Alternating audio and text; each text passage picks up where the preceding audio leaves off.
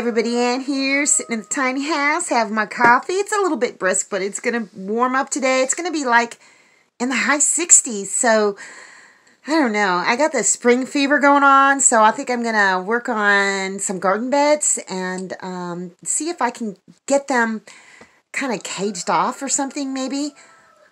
I got puppies back there, too. They're being good right now. Papa's right next to me.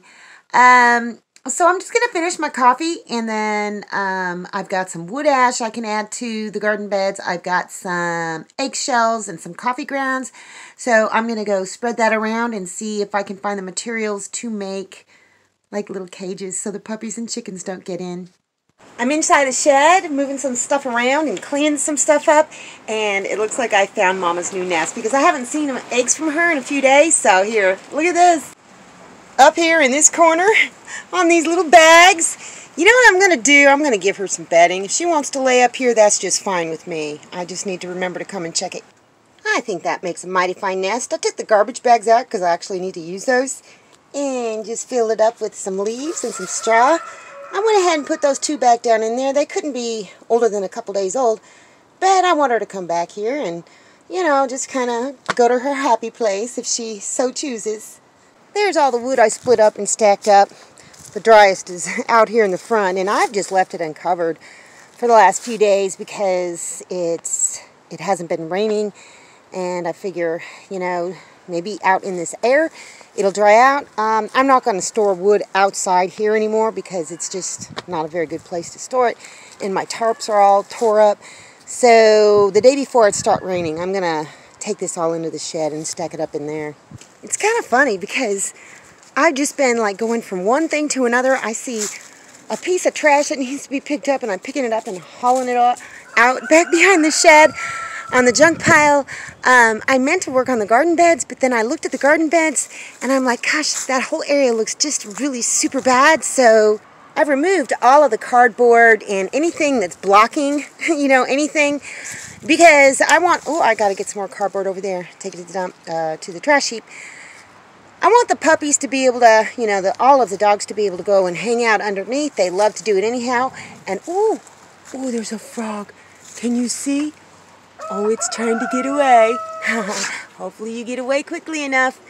So the chickens don't need to anyhow. Um, yeah, and I just keep buckets lined up here. Um, it's good for capturing water for the chickens and then for eventually the garden beds.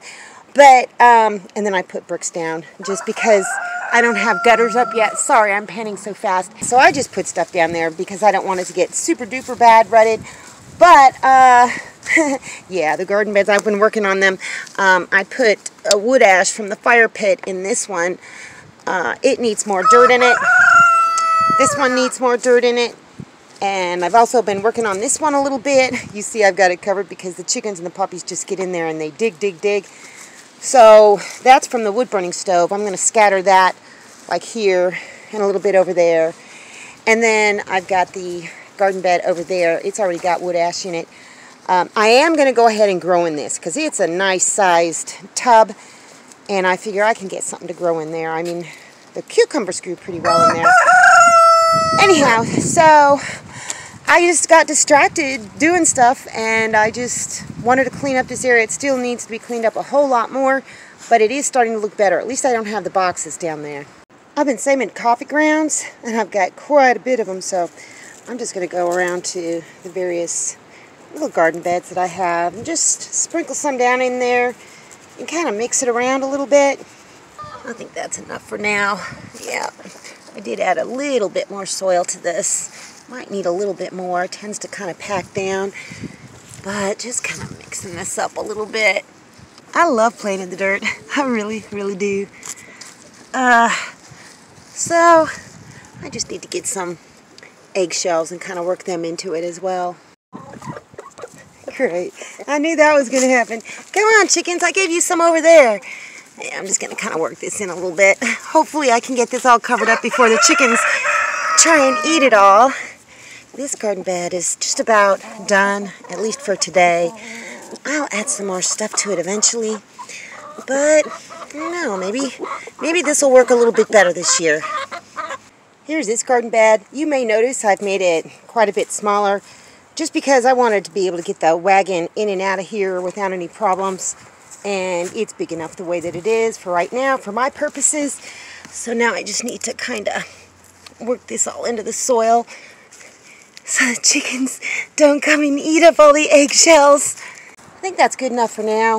Um, like I said with the other one, I am going to mound it up with some more dirt, but I need to find some chicken fencing and some stakes and kind of just section this off, hopefully. I just put up four stakes in the corner and slapped some chicken wire around it. I didn't want to secure it super duper, you know, secure because when I'm in here planting and weeding and doing stuff, I want to be able to pick this up and move it, just basically pull it out. I mean, it's just kind of connected over here. Here's a little door. All I have to do is pull that off and um, then I can get in and work in the garden bed. So I don't know what's going to be planted here. I need to work this one up a little bit better. But I don't know. I don't know if it'll keep the puppies out. Hopefully it'll make them, you know, kind of stop and think for a minute. But who knows? They're like bulls in a china shop. So, and finally this one. I added some more dirt to it too. Yeah, it's got coffee grounds and all that kind of stuff in it. And I just kind of wrapped a little bit of chicken wire around it because I had it. I didn't have quite enough, so I just had to kind of add some of this. Yes, the puppies will get through there um, if they want to, but hopefully, oh no, hopefully they won't want to. Um, there's nothing planted in, well, there's some walking onions and there's some garlic chives in there somewhere, but the soil is really, really rich. So for right now, I'm just going to put this over the top of this. At least the puppies, hopefully they won't get in and dig, and the chickens won't scratch all the dirt out. Well, hello there, chicken. Yeah, I'll leave the gate open. They just come and go. It's the end of the day, and it's time for me to go check for eggs everywhere. I don't think anybody else is going to lay today. And let's check the Easter egg pen. Whoop, we got one. Uh, doesn't look like there's any others down in there. Let me just look to be sure. Nope. Alrighty. Thank you, ladies. Ooh, still warm. Let's look back here. Ooh, jackpot. One, two, six. Oh my gosh, six laid back in here. Oh my gosh. One of them, I thought I blocked this off. This is in the van underneath here. Um, that looks like that is a I don't know. It could be a white egg. See, right there. Hey, chicken. Hey, chicken. All right, I'm going to go grab it. Goodness. What is up, chicken? Nope, that's a green one. So, we'll put them in here with the rest of them. Look at all those pretty eggs. Ooh, I got to go check this coop over here. Remember? Oh, I almost forgot about that.